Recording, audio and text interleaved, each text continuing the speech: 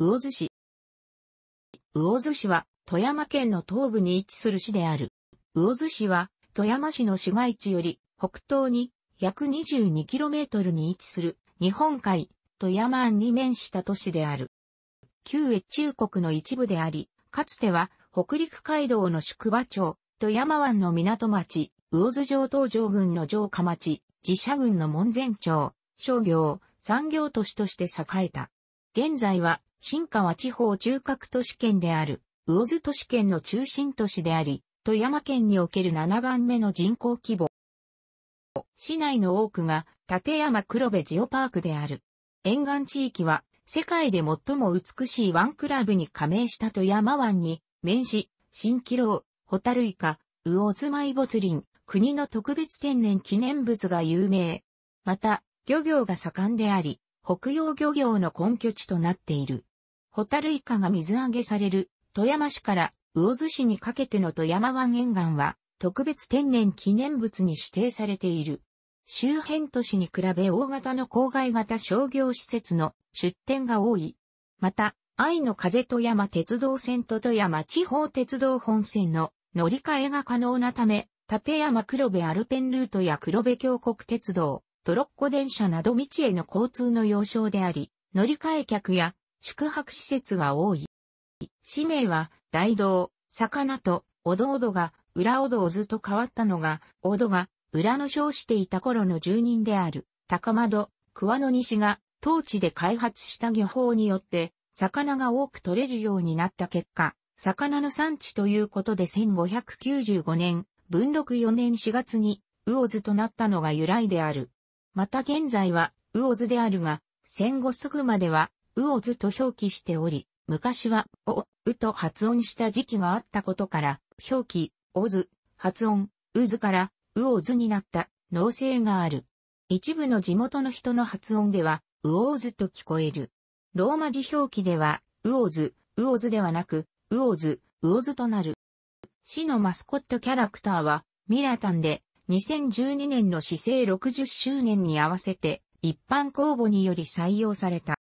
魚津市賞はカタカナのうを主題とした構想で、うの三方に突き出すのは、市政の飛躍的発展と本市が世界に誇る三大機関の蜃気楼、埋没林、ホタルイカを表したものであり、さらに友愛、誠実、健康の三大美点を象徴させている。波頭は日本海の良好を表すとともに、津の感覚を盛り、波形を円に作図して、市民の融和、団結を表示したものである。魚津市役所より、なお、特記事項に添付されている画像は支障のみであり、実際の旗とは、寸法や位置が異なる場合がある。新川平野のほぼ中央に位置する。また糸魚川静岡構造線の糸魚川より約 53km 西に位置する。同市は北西から南東に向かって細長く展開しており、北西には蜃気楼を見ることができる富山湾が広がっており、昔から良好として船の出入りが多く、魚介類の種類も豊富な漁場となっている。南東部は最大標高2415メートルに達する山岳地帯となり、毛勝山付近の一部は中部山岳国立公園に指定されている。市内からは飛騨山脈、北アルプス立山連峰をはじめ、日本三霊山の一つである立山や、日本百名山の剣岳、薬師岳市、白馬岳など3000メートル級の山々を望むことができる。さらに、後ろ立山連峰の旭岳や雪倉岳、パチガ岳なども眺望できる。また沿岸部からは、湾岸沿いの地域を望むことができ、富山市の牛岳温泉スキー場、高岡市の二条山、石川県の能登島、能登半島まで望むことができる。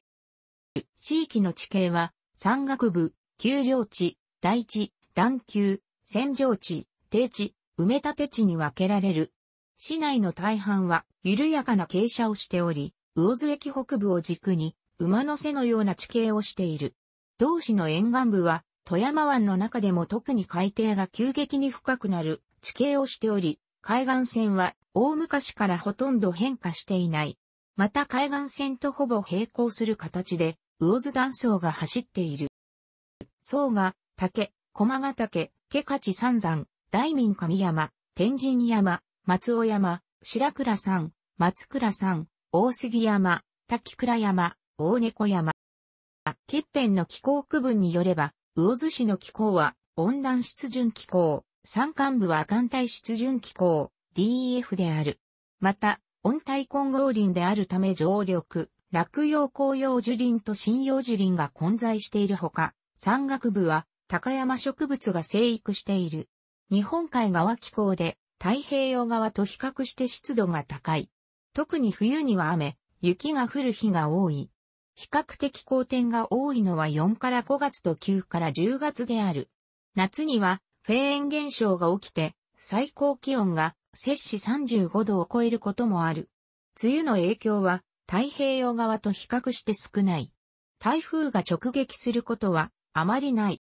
富山県内では蜃気楼が発生する確率が高い春先になると、テレビの天気予報内で蜃気楼情報が出される。富山湾では特に、魚津市から多く見ることができる。また、夏は、市内からの立山眺望情報も予報される。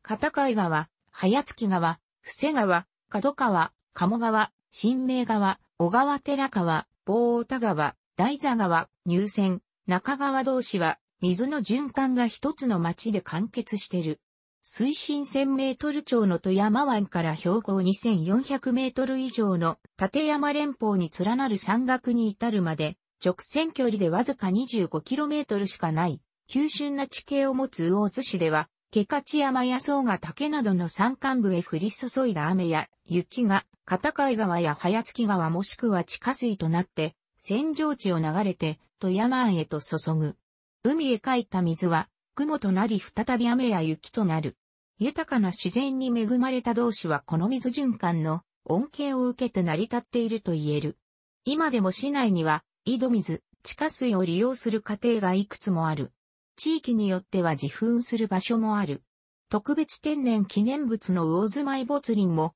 この冷たい地下水によって海水の侵入が防がれて、良好な保存状態で保たれた。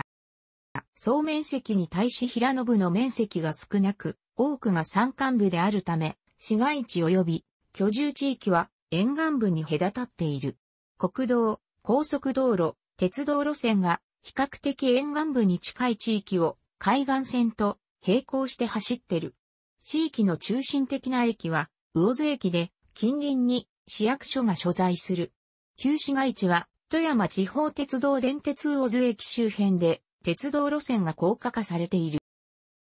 同時代中期以降に、東日本を中心に多く見られる女性をかたどった土偶が出土している。その他、縄文土器、火炎型土器など、押し方自分時といった時や、東北地方や新潟県、中央高知、長野県から持ち込まれた土器が出土している。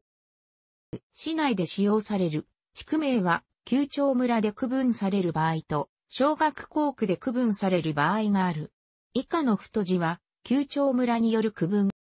東部とは、魚津市立東部中学校通学域を指す。西部とは、魚津市立西部中学校通学域を指す。下中島、上中島、大町、村木、下付方、上野方、松倉、道下、化石、片貝、京殿、天神、